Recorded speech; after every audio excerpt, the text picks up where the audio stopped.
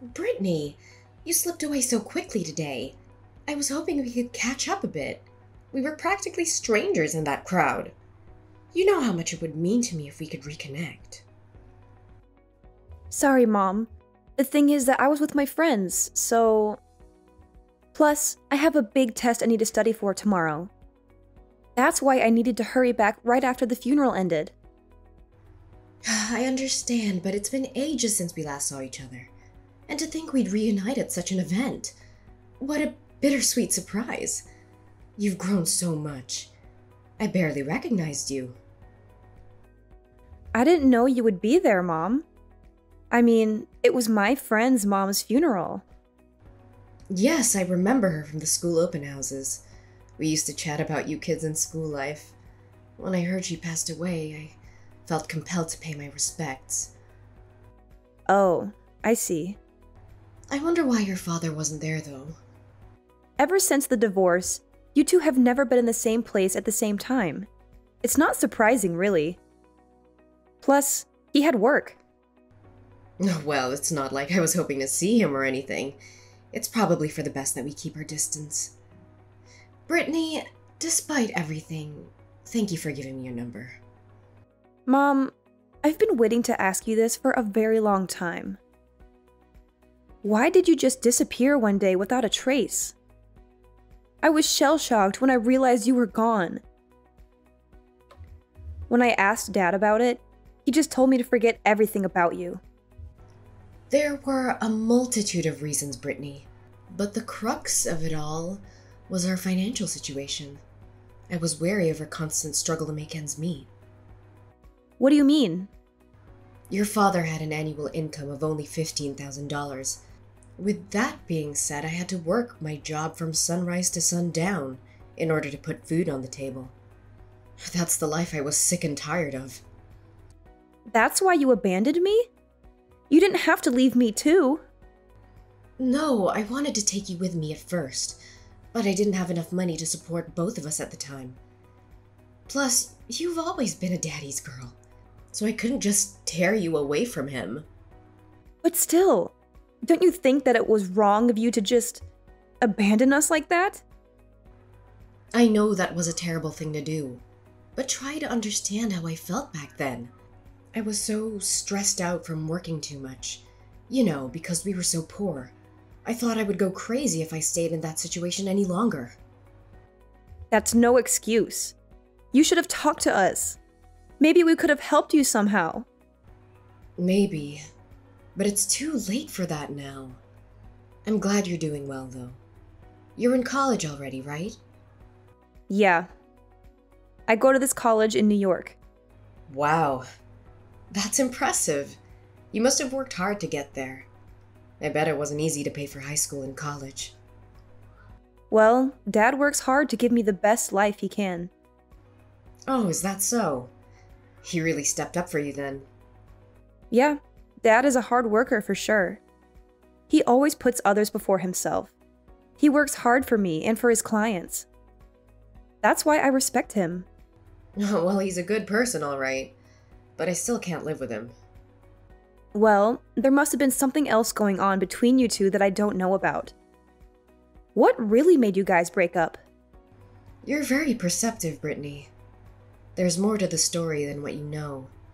But it's not something I can tell you right now. Okay. Well, maybe someday you'll tell me. Maybe. But for now, I just want to hear about you and your life, Brittany. Please, tell me everything that happened while I was gone. Okay. Well, where do I start? The problem is, Dad won't be happy about this. But Mommy has always wanted to see you, Brittany. You're my one and only child, after all. Fine. So, come see me without your father knowing about it. Like you just said, I think he'll probably stop you from seeing me if he knows. I see. When are you available? Does Sunday this week work for you? That's pretty soon. Yeah, but that's because I want to be able to see you as soon as possible, Brittany.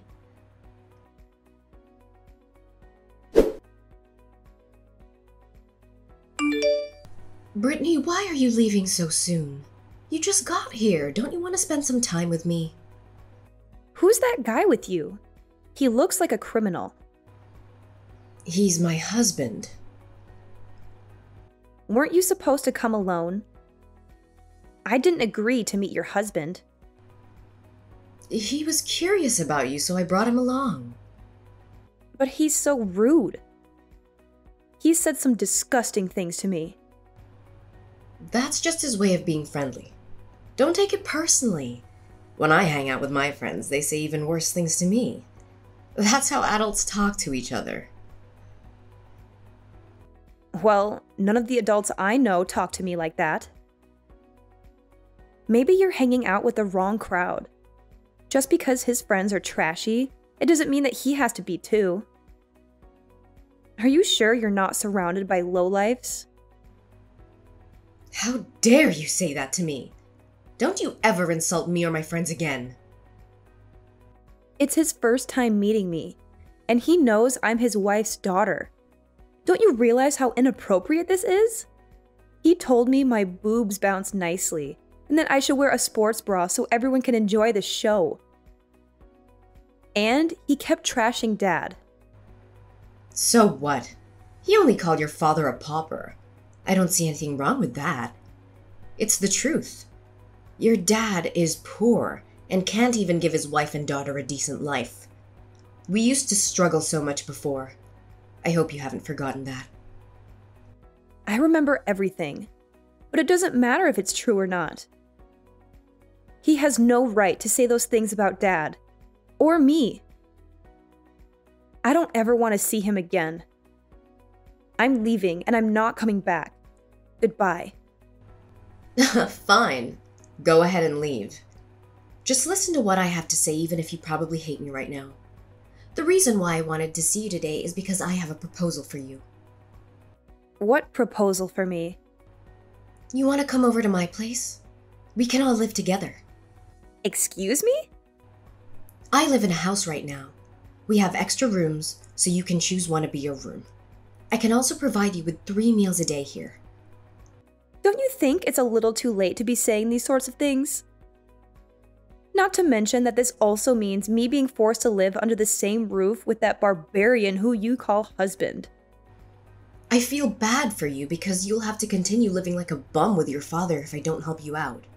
I talked to my husband and he said yes. See? He has a generous side to him, you know? What's going to happen to Dad then? Dad will never let me go live with you guys. You're not obliged to listen to whatever he tells you. Why don't you just leave your destitute father and live with us? As long as you pay me rent every month, I'll let you live at my place. I can provide you with a life that's 10 times better than the one you have right now. Don't you want that? Do not speak ill of Dad like this. He's a much more conscientious person than you are, since he didn't just leave the house and abandon me. Being conscientious won't help with putting food on the table. Stop acting like a child and come live with us. That's not going to happen. Dad has already bought me a house. I'm happy where I am, thanks. He bought you a house? How can he buy a house when his annual income is $15,000? That's a thing of the past. Don't tell me he switched jobs and has a higher salary now. Does he? What's his annual income currently? Why do I have to tell you this kind of personal information? You're nobody to me. How in the world can I be nobody to you? I'm your mother. But you are literally nobody to me. I no longer know you or think of you as my mother. What's going on with you, Brittany? Why don't you tell me more about your father? You literally had no interest in him five seconds ago. So, how can you care for him this much all of a sudden as soon as you hear about his financial situation? Your attitude changes as fast as greased lightning.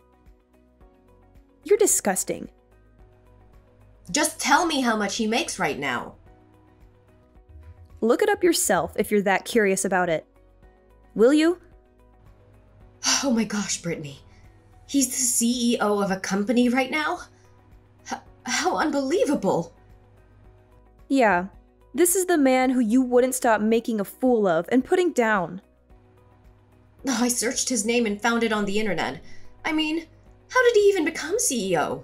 Isn't this company pretty big and famous? How did he make such a name for himself as a blue collar worker? Dad kept his nose to the grindstone with work after you were gone. After all, he needed to feed me, clothe me, and send me to school. He's the only parent that I had from then on. I guess he knew the reason why you left us. He's not someone stupid, and he knows how much you value money, but hate the fact that he had none. In order to show you what he's capable of, Dad went the extra mile to earn more money. But he didn't even have any money saved up to start a business in the first place. His friend lent him a hand and invested money in his company. His friend knows Dad's character and was willing to give him a leg up for his business. Dad really is blessed by this amazing friendship he has now that I think back to those hard times. And then? How did he manage to climb the social ladder in just a few years and make his brand name well known to the public? At first, it really was nothing more than an online shopping and delivery service company. Nobody really knew about shopping online or needed a delivery service unlike people do now. Fortunately, Dad didn't give up and tried his luck in the United Kingdom where he hit the jackpot. Yeah, what he's doing right now is for sure catching the trend. I didn't know that he was a person with this much foresight. Does he work overseas? Europe is where his business is based. Mostly, Dad travels back and forth between the US and Europe.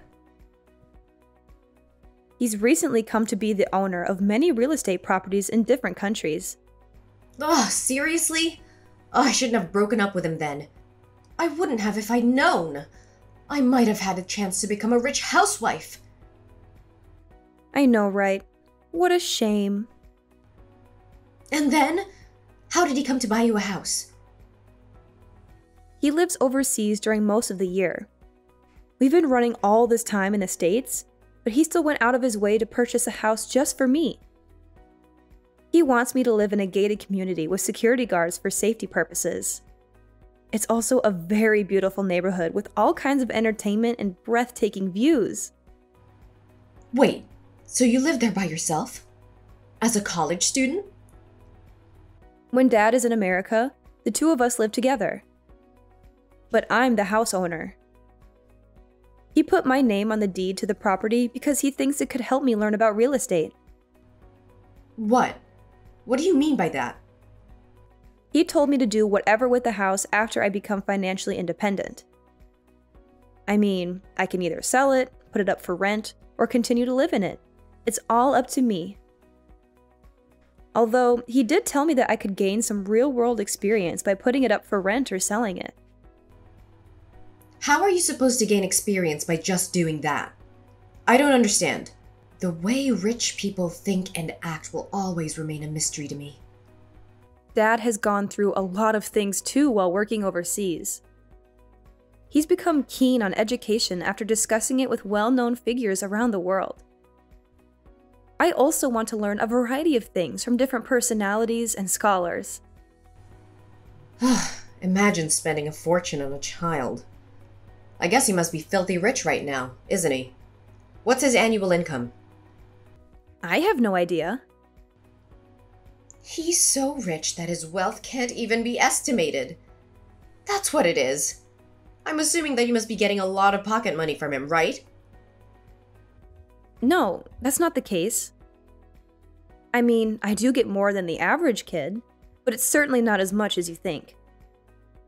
Dad still sees money the same way he used to. But still, he's rich beyond the dream of avarice. Listen up. Wire me some of that money. Pardon me? I won't ask for too much. $2,000 a month will do. I'm sure it's only crumbs from the table for you, right? Dad will never give you any money. That's why I'm telling you to do it. Why do I have to give you money? Because I gave birth to you, remember? So why can't you do something so trivial as this for me? Don't be such an ingrate. You don't have the right to ask me for money when you abandoned me and left the house. Shut up and wire it to me. If you don't do it right now, I will come find you at college. You don't want to be pointed fingers at by your friends and classmates, right? You don't even know which college I go to. I'll figure it out by all means. Follow my instructions while I still have the patience to ask you nicely. I will make you regret your life decisions if you don't obey me now.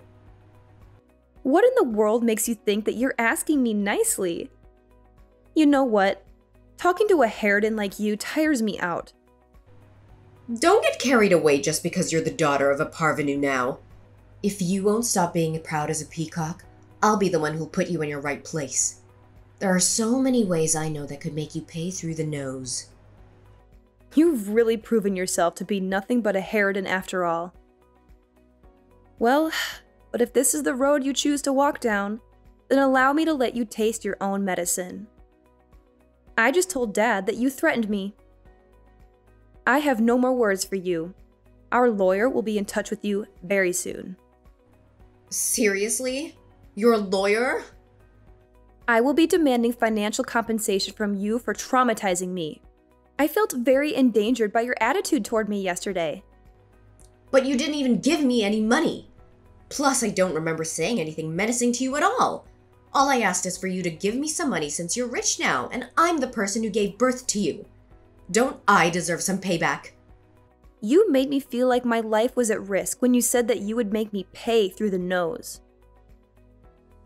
After all, I wasn't sure if you were going to put your words into action. Because if you did, we don't know what's going to happen to me. So, of course, I would feel frightened. That was just me blowing a fuse in the heat of the moment. I was mad because you refused to send me money even though I wasn't asking for too much. I don't care. What you did is unforgivable. So don't pretend like you don't remember what you said yesterday. I mean, how can you be so shameless as to threaten me?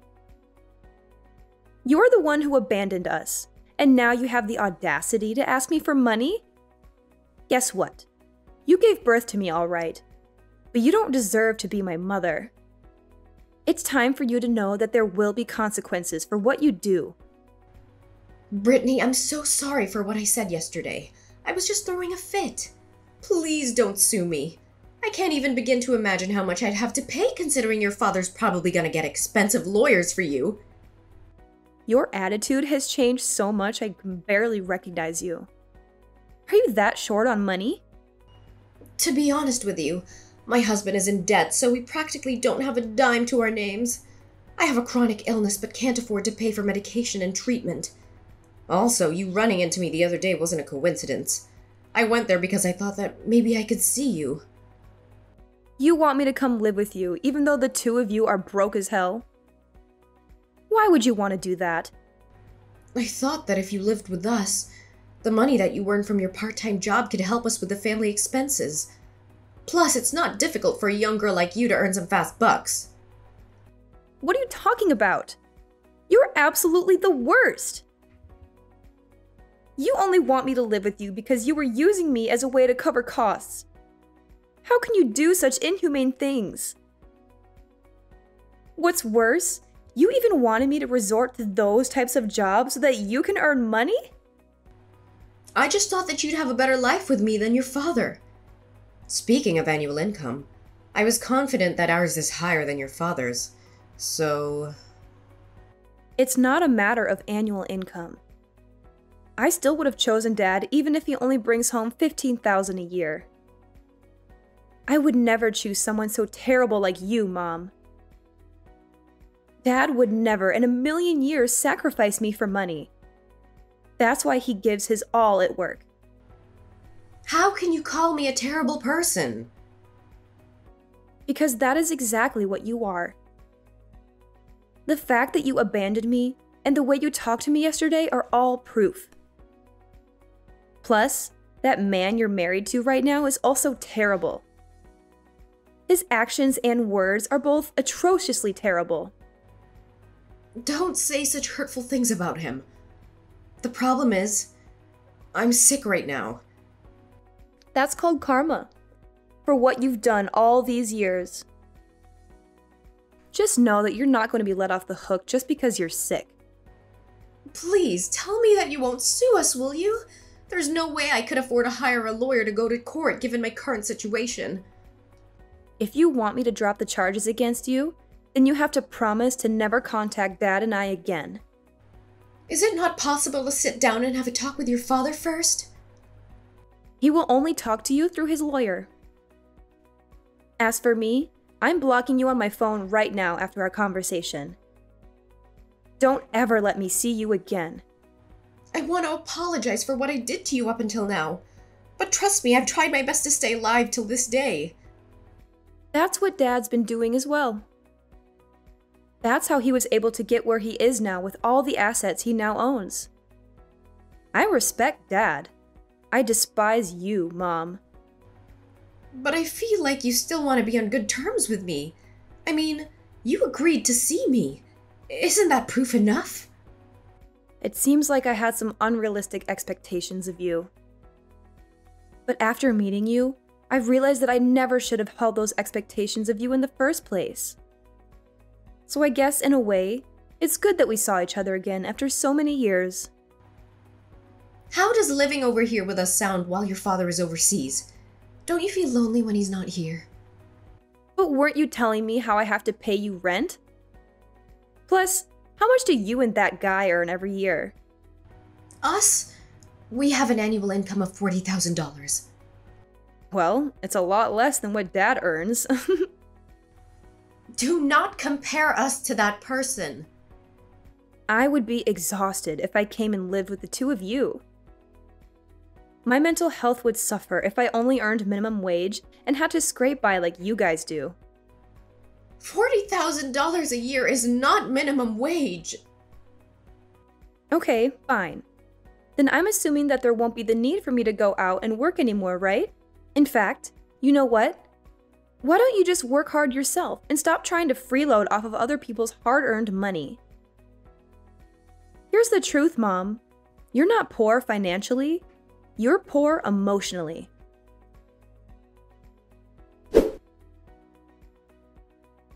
After that, my dad managed to reach out to my mom through his lawyer. He told her that he wanted a divorce and that he had full custody of me. She swore she'd leave me and my dad alone for good. She's been sick and is now on the run from debt. Life doesn't seem to be treating her well. But honestly, I think she's getting what she deserves for leaving me and my dad in the lurch back then. She abandoned us when we needed her the most, and she never looked back. She's facing the music now, and I don't feel sorry for her one bit. Anyway, this has nothing to do with me and my dad. We've decided to put her in our rearview mirror. We've moved on with our lives, and we're happier than ever. I'm looking forward to soaking up all kinds of experiences in college, and hopefully, I can lend a hand at my dad's business down the line. He's been working hard to provide for me and give me the best education possible. Right now, that's the best way I can show my gratitude for everything my dad's done for me. But I'm going to give it my all and make sure I'm a daughter he can be proud of. After all, it's high time I had my dad's back just like he's had mine all these years.